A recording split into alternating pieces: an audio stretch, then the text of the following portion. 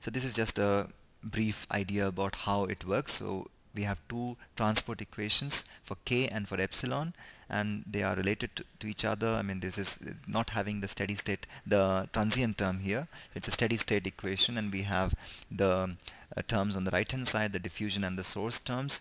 Uh, there are some modeling constants like c2 and c mu and ultimately this viscosity eddy viscosity is expressed in terms of k and epsilon. Once you calculate this in each and every cell we express mu t in terms of k and epsilon and some modeling constants like c mu.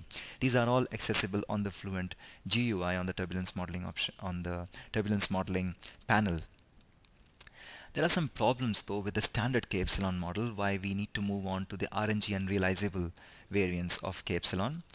One of the problems which is encountered is in such flows where there is there can be flow separation. Now if the flow is completely uniform, there is no separation, this is not such a problem. K epsilon standard can work very well. It's computationally quite cheap and um, fair enough accurate and uh, it's it works very well for highly turbulent flows. So K epsilon is basically meant for highly turbulent isotropic turbulent flows.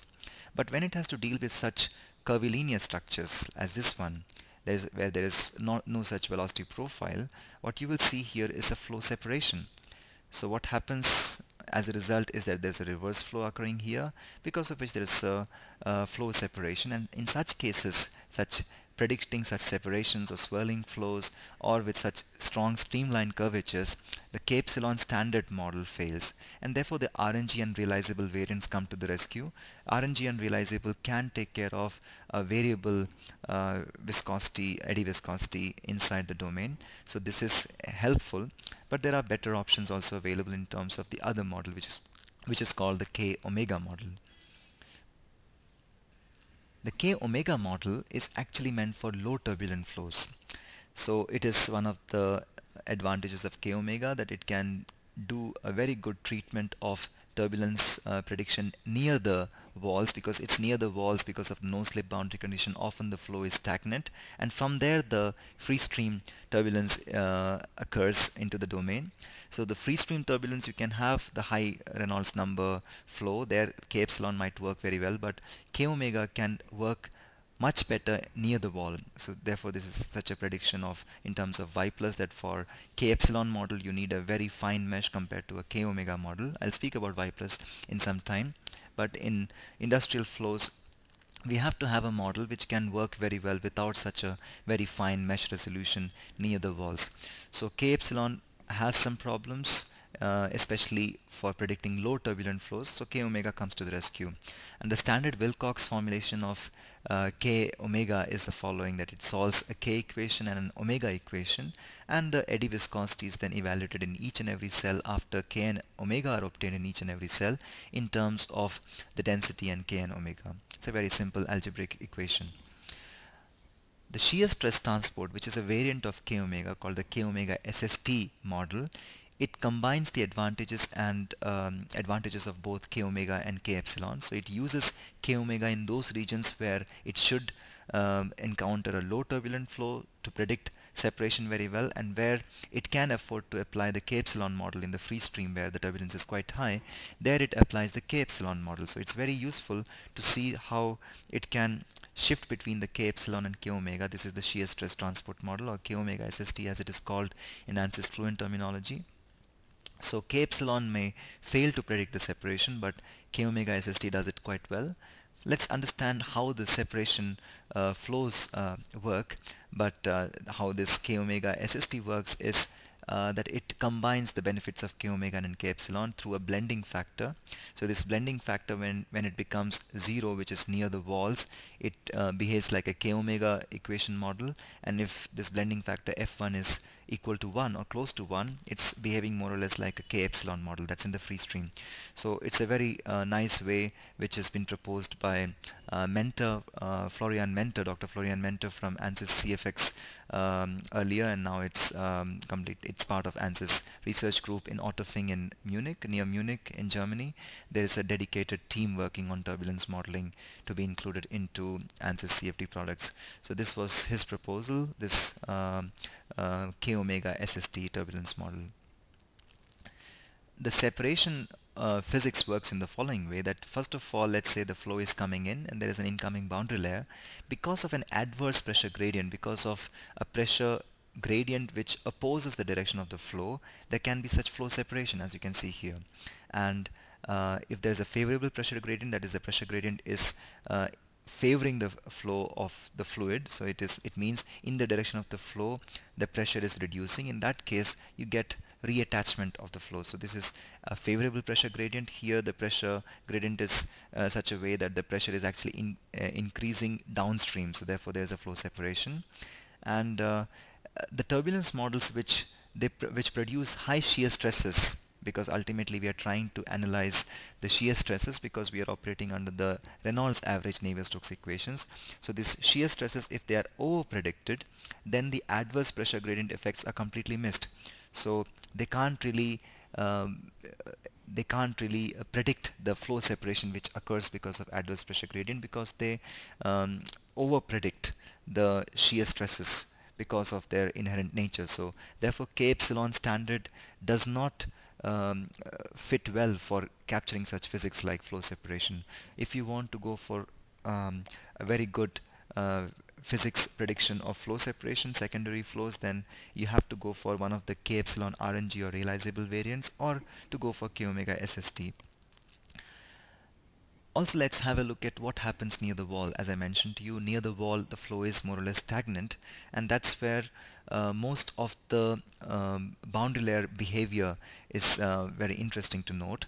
And the near wall treatment is especially important if we are uh, trying to predict very accurately what happens, what is the shear stresses, what is the heat transfer coefficient. In such cases, the near wall treatment is an important part um, and we have to capture it very well. We have to do a very good modeling for them. So the no slip boundary condition, it often means that the uh, that near the wall uh, there is a completely different behavior compared to the free stream. So there is a boundary layer region and basically this near wall region is divided into two categories the inner layer region and the outer layer region. In the inner layer region is the major problem with the turbulence models that they can't really predict it so well. They can't predict the turbulence phenomena within this inner layer. So this inner layer is further classified into three uh, three layers. It's called the viscous sublayer which is just adjacent to the wall. The flow here is more or less laminar and there is a good theory available for predicting the flow phenomena inside this there is another layer called the buffer layer which is a dangerous area. The theory is not well developed and therefore we have to be afraid of having our uh, calculation point within this buffer layer. There is another log law layer where the theory is again well established in terms of wall functions. So basically what we are trying to achieve is that if we are trying to predict the near wall treatment, we have to make sure that our calculation point of the first cell is lying either in the viscous sublayer where the theory is well established or in the log law layer. So we'll have a look at it how exactly this modeling can be done for the near wall treatment. The motivation for accurate near wall treatment is that we can have good prediction of wall shear stresses for exact calculation of drag because overall we are doing a turbulence modeling. It's not a direct numerical simulation. Therefore we need to have accurate prediction of wall shear stresses for drag calculations as well as efficient uh, heat transfer calculations that we are also looking for so overall as far as near wall treatment is concerned the theory shows this following graph which you will often find in near wall treatment uh, literature. So what they predict is that we have uh, the viscous sublayer region which is within uh, something called y plus 5 now what is y plus? Um, is the following that y plus is actually a dimensionless number. It's um, a, a, special kind of Reynolds number in terms of something called the wall velocity or wall uh, turbulent velocity which is uh, calculated in this way. It's equal to under root of the shear stress divided by the density at the wall. So this is how this wall uh, turbulent velocity is calculated. And in terms of this the y represents the calculation points location with respect to the wall. So you have a dimensionless number of the form of the Reynolds number which is called y plus. And you also define u plus as the velocity at that calculation point divided by this uh, velocity that you have u star so uh, there is a viscous sublayer region where u plus is equal to y plus. So this is what uh, follows. So in that case, this viscous sublayer, there's a very good theory. The dangerous area is within this 5 to 60 area, which is the buffer layer. And we try to have our calculation point, that is the first cell height, either less than this or beyond this. We try to avoid being in this buffer layer area. So let's say we Uh, have it above this. So this in if it is above this uh, area, this is y plus more than 60. In that case, we are safe because we are operating in the log law layer, and there is good enough theory available also for this. So in usual CFD, this is an iterative process. We do a simulation, we learn from the practices, what is the situation, what is the y plus criteria, if we are meeting the y plus criteria or not, and accordingly we adjust the mesh. Let's say we do a simulation and we find out that there is some region in which y plus is less than 5 and other region it is y plus greater than uh, 5 then in that case we try to ensure that all the first cell height is such we try to refine the mesh so that we get everywhere within y plus 5 but this is often uh, something which reflects in terms of the cell count which increases drastically. Therefore we try to go for a coarser mesh. That is everywhere the cell size should be such the first cell height should be such that the y plus is beyond 60 in that case we are safe. If it is lying between 5 and 60 we have to consider remeshing either making it finer or to make it coarser so this is the overall um, principle by which we can do CFD simulations. The basic motivation for accurate near wall treatment is to predict appropriate values of wall shear stresses to calculate drag forces and pressure drop values and also to have accurate prediction of heat transfer coefficient and heat transfer phenomena. As a general guide, we can have a look at the RANS family of uh, turbulence models. So the general uh, guideline for ANSYS Fluent is the following that we try to have use K epsilon RNG class of models with the appropriate Y plus dependent near wall treatment which I already just showed you that if we have Y plus less than 5 then we try to have uh, actual prediction so we use something called the enhanced wall treatment which is there on the Fluent GUI and if y plus is beyond 60 then we use the wall function approach which is a good enough prediction of the log law layer. So we try to operate in these two regimes and we do use k epsilon RNG if you are using ANSYS Fluent. In ANSYS CFX they, it has an inbuilt model by which it can switch between the wall function approach and the near wall enhanced treatment. So k omega SST is what they suggest for ANSYS CFX and automatically you should ensure that your mesh is either beyond uh, such that the y plus is beyond 60 or less than 5 everywhere in the domain. As a general guideline, for high turbulent flows that is beyond Reynolds number 50,000 for internal flows for example, we can expect that the flow separation will be very minimum and in that case K epsilon standard can be used. K epsilon RNG or realizable can be used for better prediction if there is flow separation also taking place. The low turbulent flows where we are operating just the turbulence has uh, started and it is uh, less than the high turbulent regime for internal flows it's 50,000 then we can use k omega SST but we can use a combination of standard k omega and k epsilon models if, if there is a transition between low turbulence and high turbulence with expected flow separation zones can be predicted quite accurately with this SST model. If the flow is highly swirling, we usually go for the RSM, that is the Reynolds stress models, which does not assume an isotropic eddy viscosity. And the K, epsilon RNG with swirl dominated option is also available in ANSYS Fluent for predicting highly swirling flows with reduced computational effort. Because the Reynolds stress model, RSM model is computationally very expensive, so we have to uh, see where we can actually uh, have a trade-off with computational expense and feasibility and accurate predictions. The compressible external flows usually have the general practice of using the Spalart-Allmaras 1 equation model because it can um, fairly, fairly well enough predict the adverse pressure gradients and the shock waves which are generated uh, with not so great computational effort. So this is the general guideline that we can follow for the RANS family. Now let's move on to the space averaging approaches. Basically when I'm dealing with uh, space averaging approach. As I mentioned already we are dealing with large eddy simulations or detached eddy simulations which is a combination of the large eddy simulation and time averaging approach. But we are fairly dealing with unsteady flows because if we want to actually capture the larger eddies we have to assume we have to count with this the turbulence being an unsteady phenomena. We cannot imagine a steady state LES turbulence model or steady state DES turbulence simulation. So we have to go for an unsteady uh, flow simulation. But there are also other means of doing unsteady flow uh, turbulence modeling. So one of them is called the URANS, which is the unsteady RANS approach, which is actually does not really make sense because RANS is based on time averaging concept. And if I'm using the time averaging concept, concept for predicting an unsteady phenomena, then I have to ensure that my time step uh, within my time step the time averaging should be reached for my different equations which is not always the case. So therefore we have other options like the large eddy simulation or the detached eddy simulation and something which has uh, recently been included into ANSYS Fluent R release 13 uh, it was already there in CFX is the scale adaptive simulation which is which offers a cheap substitute a much cheaper substitute to the very expensive LES or DES uh, turbulence models of predicting the eddies. So we'll have a look at them one by one. So URANS, as I mentioned to you, it's actually not making any physical sense, but the requirement, it can be used for predicting some kind of unsteady flows, predicting turbulence within unsteady flows.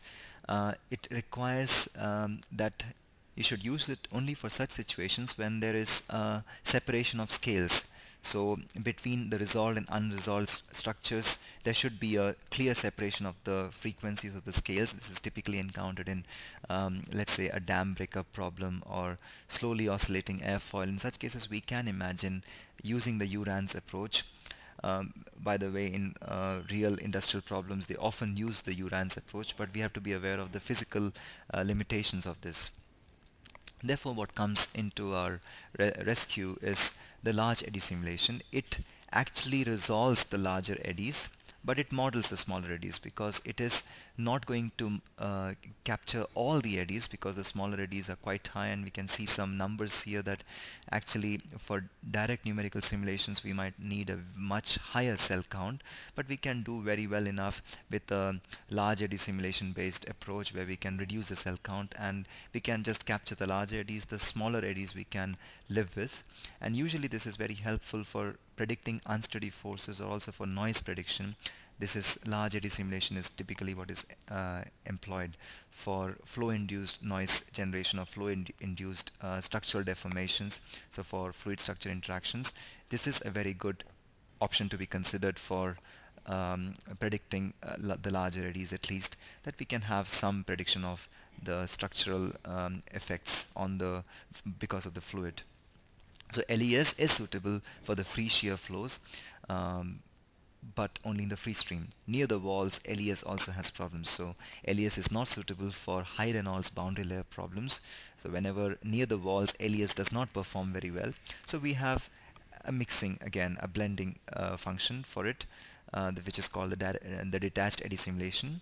I'll speak about this in the next slide, but just have a look at some of these numbers that actually if I want to do a, a simulation around an airplane using the large eddy simulation, the computational resources will be available only in the next 30 years. So it's excessively uh, CPU intensive as far as large eddy simulation is concerned so we can't really do it for real industrial problems. We have to live with um, the cheaper substitutes. So one of the cheaper substitute is the hybrid LES model in which we switch between the RANS model in near the wall and the LES model in the free stream this is one of the very good substitute to the complete LES model because LES is not able to predict very well near the walls. So near the walls I can use the RANS based approach and away from the walls I can use the large eddy simulations. So this is um, a very nice um, approach by which we can um, solve the limitations of LES and at the same time also use the advantages of LES away from the wall regions what has come up recently into ANSYS Fluent 13 is called the SAS or the scale adaptive simulations which offers a much cheaper substitute to the full LES model. So what uh, it does is, is actually it's an improvement of the unsteady RANS model. It only produces large scale unsteadiness um, uh, as far as URANS is concerned but wherever it sees that it needs to deal with the scales in a dynamic way so it adjusts itself and uh, it allows basically the development of the turbulent spectrum in the detached regions um, as per the um, the RANS approach but uh, um, overall it gives you a LES-like behavior in the unsteady region. So wherever it sees that there is an unsteady region, there it will uh, give you a behavior similar to an LES model simulation. Basically, it is based on the introduction of a von Karman uh, length scale into the turbulence uh, scale equations, uh, the standard um, k omega SST equations, and um, it still offers the capabilities that RANS has to offer. It was already available in CFX and it has recently been included also into the 13 release of ANSYS Fluent. So the recent advances in turbulence modeling are, are, have been especially in the transitional flow modeling um, capabilities in ANSYS Fluent as well as ANSYS CFX. So around the year 2000, uh, the middle of 2005, uh, some sometime around that time, uh, Florian Menter, Dr. Florian Menter and uh, Dr. Robin Langtry from the ANSYS CFX um, uh, research uh, center in Otterfing, they came up with this transitional flow modeling which was based on correlations and additional transport equations which are there which can predict the uh, the transition from the laminar to the turbulent flow regime. This is quite helpful. And uh, in addition to this, um, in ANSYS Fluent 13 they have included something called the embedded LES in which it primarily solves RANS but you can specify an area where it wants to it has to solve the large eddy simulation. So this is again a very important feature where you can restrict the the calculation of the large eddy simulation in specific areas as defined by the users and the at the interface of the LES and RANS um, um, models being applied in different fluid zones. At the interface some vortex averaging is done and that's where the blending occurs. The data is transferred from one model to the other and uh, as I mentioned about the scale adaptive simulation called the SAS SST or SAS simply it's a much cheaper substitute to LES especially for giving the LES kind of behavior for fluid structure interactions for predicting the unsteady forces. Just to summarize uh, turbulence it uh, does pose a great challenge to um, model the general flow physics accurately and uh, uh, modeling is the only alternative we can't really go with direct numerical simulations. And a lot of best practices are coming up for specific domains of the problems like uh, turbo machinery specific domains like process industries or fluid structure interaction. People are coming up with more and more best practices for them which turbulence model is to be used what are the appropriate inputs for them. And um, this is something which we learn through experience uh, ANSYS CFD products offer a wide variety of turbulence modeling uh, capabilities and uh, I think this is just going to get added more and more to accurately and efficiently quickly predict uh, the turbulence phenomena. So uh, I hope this uh, exhaustive lecture was uh, quite uh, knowledgeable for you that you could um, get more prepared to deal with turbulence modeling when you're dealing with the solvers. It is a very great challenging field and it's a field of constant research still. I'm very thankful for your attention to this lecture and uh, I hope the coming lectures will also follow it up that you can see how these turbulence models can be included within uh, the ANSYS Fluent GUI and how you can do a appropriate modeling uh, for your simulation purposes. Thank you very much for your attention again.